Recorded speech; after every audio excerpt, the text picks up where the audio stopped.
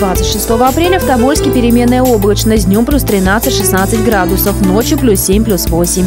Ветер южный дует со скоростью 1-2 метра в секунду.